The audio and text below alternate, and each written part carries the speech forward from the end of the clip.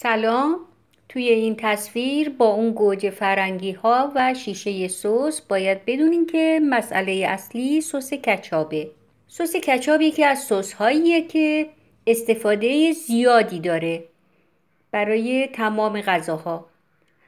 برای تهیه سس کچاب خونگی من سه کیلو گوجه فرنگی رسیده خوب رو با یک لیوان آب روی حرارت گذاشتم تا اینجوری بجوشه. و له بشه و بعد از رو حرارت برداشتم. یه مقداری سرد بشه و از حرارت اون کاسته بشه. بعد اونو توی مخلوط کن ریختم.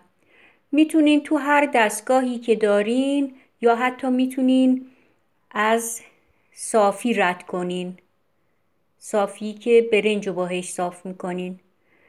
منظور اینه که یه پوره داشته باشیم فرقی نمی‌کنه برقی باشه یا دستی. موضوع همونی که گوجه فرنگی ها رو کاملا پوره کنیم من در چند نوبت گوجه فرنگی ها رو داخل مخلوط کن ریختم و تمام اونا رو پوره کردم به این شکل. می‌تونین به همین شکل بذارین روی حرارت و بپزینش و سس کچابتون رو درست کنین. یا اینکه می‌تونین مثل من اونو دوباره از یک علک رد کنین تا نرم تر بشه و اون دونه ها و پوست اضافی که داره خارج بشه. این آب گوجه فرنگی مونه و این هم اون مواد اضافیش که دونه هاش و ریزه های پوستشه. یک و نیم لیوان سرکه فرق نمی‌کنه چه سرکه ای باشه. یک و نیم لیوان سرکه خوب مرغوب صنعتی نباشه. توش میریزیم منظورم فرق نمی‌کنه یعنی اینکه سیب یا انگورش فرق نمی‌کنه سفید یا زردش فرق نمی‌کنه. همینطور 150 گرم شکر ریختم داخلش و یه مقدار نمک فلفل سیاه و از یک فلفل تند استفاده می کنم چون نمی‌خوام زیاد تند بشه. کچاب کچاب معمولا تند نیست و طعم شیرینی داره. فلفل رو درسته میندازم و بعد اونو خارجش می‌کنم از توی سس. بعد از اینکه پخته شد سسمون اونو خارجش می‌کنم. دو تا پیاز بزرگ و یه قوزه سی رو خورد می‌کنم و اونا رو تف میدم یه مقداری. اول پیاز رو یه مقداری تفش میدم.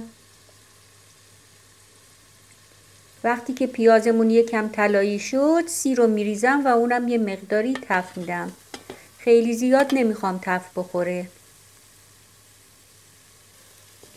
و بعد سیر و پیاز رو هم داخل مخلوط کن میریزم با یه مقداری آب گوجه فرنگی و به شکل پوره درش میارم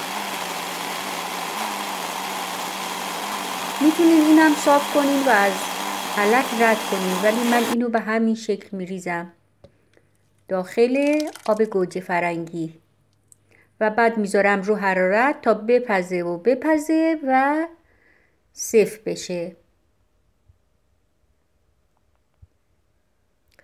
این سس گوجه فرنگیمونه سس کچاب که آماده شده سرد شده سفتی سس به این حده غلظت سس به این حده و بعد شما می‌تونین از اون برای تمام غذاهایی که نیاز به سس کچاب داره استفاده کنین. یه سس خوشتم و خوشمزه و بدون مواد نگهدارنده. از شما دوست عزیزی که همیشه همراه من هستید کامنت می‌ذارید لایک می‌کنید ویدیوها رو با دوستانتون به اشتراک می‌ذارید. یا اینکه کانال منو به دیگران توصیه می‌کنید متشکرم.